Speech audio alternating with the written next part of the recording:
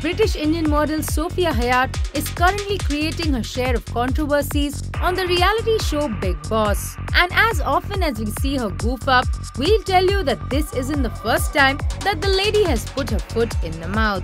Just two years back, in an interview to a leading tabloid, Sofia made a few interesting comments on none other than Katrina Kaif.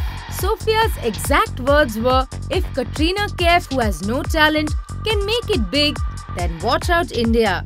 Here comes Sofia. I've watched Katrina perform live to Sheila Ki Jawani and she was expressionless. Sofia even commented on Katrina saying that she only did the show to get paid for it. Well, as controversial as that was, we wonder what will happen when the show's host and Katrina's ex, Salman Khan, hears about these comments.